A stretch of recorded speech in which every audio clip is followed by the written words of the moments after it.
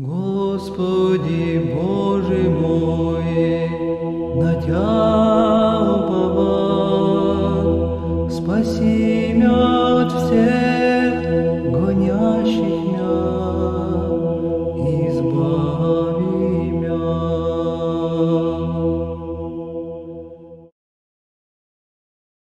Христос воскресе, дорогие братья и сестры!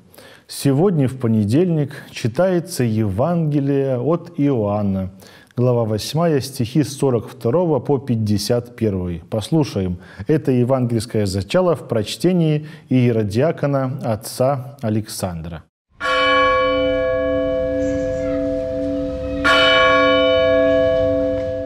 Рече Господь ко пришедшим к Нему иудеям, «Аще Бог, Отец ваш бы был, любили бы сте убо мне, азбо от Бога изыдох и приидох. Не о себе бы приидох, но то мя посла.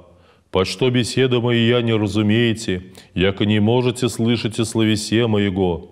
Вы отца вашего дьявола есте, и похоти отца вашего хочете творите. Он человека-убийца бейскани, и во истине не стоит, яко несть истины в нем. Егда глаголит лжу, от своих глаголит, яко ложь есть и отец лжи. Аз же за неистину глаголю не веруйте мне. Кто от вас обличает меня о гресе? Аще ли истину глаголю, почто вы не веруете мне? И же есть от Бога глаголы Божие послушает, сего ради вы не послушаете, яко от Бога несте. Отвещаша же иудеи и реши ему, не добры ли мы глаголем, яко самарянин еси ты и беса имыши? Отвещай Иисус, «Аз беса не имам, но чту Отца Моего, и вы не чтете мне. Аз же не ищу славы моя, есть ища и судья. Аминь, аминь, глаголю вам, аще кто слово мое соблюдет, смерти не имать видите вовеки».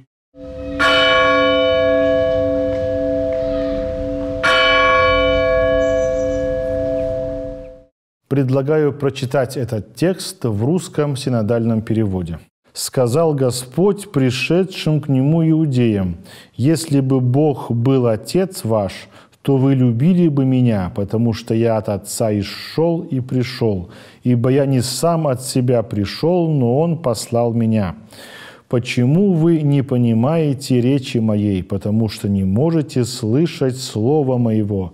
Ваш Отец – дьявол, и вы хотите исполнять похоти Отца вашего.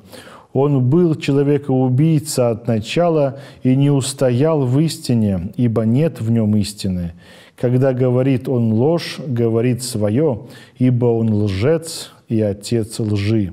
А как я истину говорю, то не верите мне. Кто из вас обличит меня в неправде? Если же я говорю истину, почему вы не верите мне?» Кто от Бога, тот слушает слова Божии. Вы потому не слушаете, что вы не от Бога.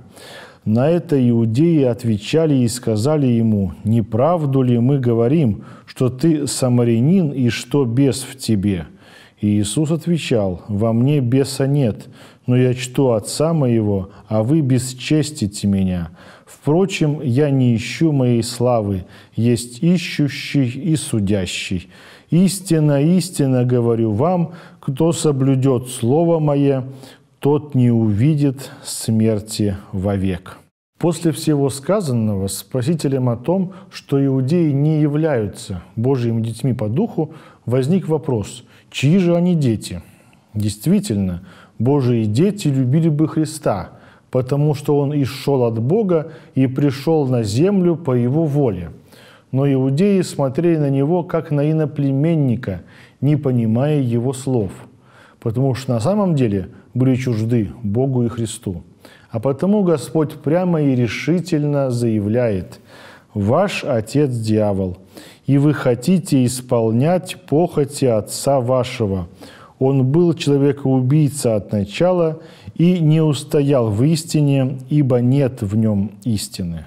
Блаженный Феофилакт замечает, что своими словами Господь как бы говорит, «Хотя вы безумно и приписываете себя в дети Богу, как Отцу своему, но дела ваши свидетельствуют, что дьявол для вас отец более родной.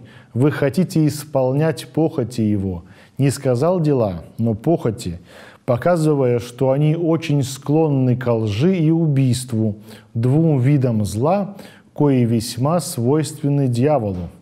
Он был человека-убийца от начала, посему и вы, ища убить меня, уподобляетесь ему, убившему Адама. Он и в истине не устоял, но есть отец лжи. И вы, когда лжете на меня и говорите, что я не от Бога, не стоите в истине, но пребываете в Слове Моем, вы дети Его, породившего ложь. Иудеи же показывают, что они дети дьявола тем, что не верят истине, возвещенной непосредственно Христом.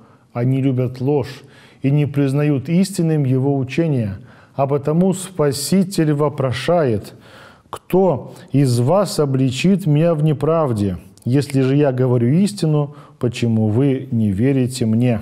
Александр Павлович Лопухин пишет, «Они пытались обвинять Христа, но доказать своих обвинений не могли ни прежде, ни после. Почему они не верят Христу? Ясно, что причина тут в них, а не в нем.